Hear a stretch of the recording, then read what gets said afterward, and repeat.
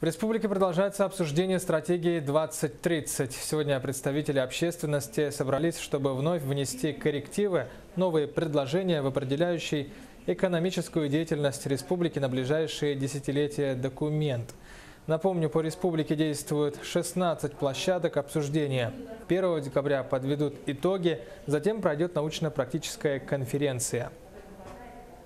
Мне кажется, любая программа, она должна основываться на наличии источника финансирования.